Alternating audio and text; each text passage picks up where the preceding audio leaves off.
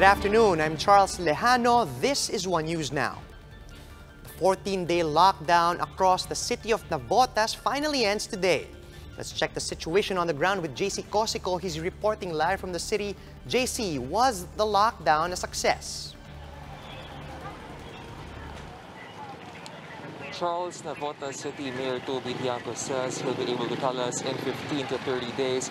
But what we know so far is that thousands were apprehended after violating quarantine protocols. Navotas police say at least 6,000 individuals violated health protocols and city ordinances from July 16 to 29. Some of them are minors. Navotas Police Chief Rolando Balasabas says majority of the violations were the non-wearing of face masks in public spaces and the failure to observe physical distancing. Balasabas told us that violators were brought to the city's five holding areas where they were issued citations and received lectures about COVID-19. Violators violators were also fined. The LGU is now ramping up efforts to test workers who are at higher risk of acquiring and transmitting the virus.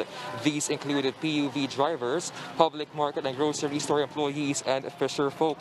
The LGU assures residents that these tests will be free. High-risk workers are allowed to forego mandatory quarantine after getting tested for COVID-19.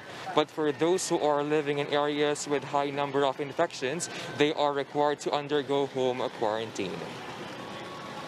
Charles, the LGU says the implementation of the home quarantine passes and the market schedule is still in effect. Meantime, cases in Navotas City have reached over 1,800. Back to you.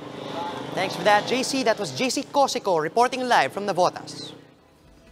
The government continues to expand testing for the coronavirus as more laboratories have been accredited to do the procedure. Presidential spokesperson Harry Roque says all frontliners including policemen, soldiers, private security personnel, and public utility drivers will now be tested regularly for free. Free tests will also be extended to frontliners in tourist priority zones like Boracay and Palawan in time for their opening next month. Likewise, EcoZone employees in Calabarzon, Subic, and Bataan will also be tested for free. Here are other stories we are keeping our eyes on.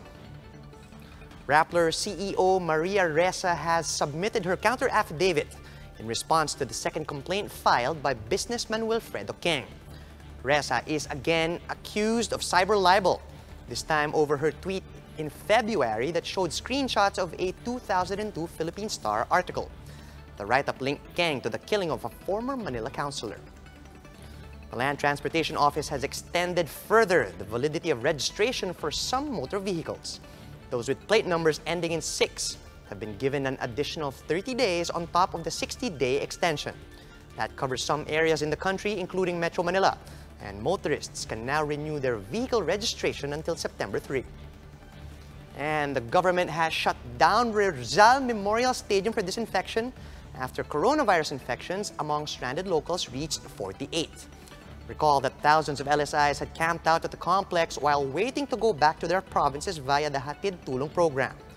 Those who were left behind have been transferred to other government facilities. For more updates, follow News 5, the Philippine Star, and Business World online. Visit our website, onenews.ph, for more in-depth analysis. And you can also catch One News on the Signal Play app. Register for a free account now at www.signalplay.com and stream One News live anytime, anywhere.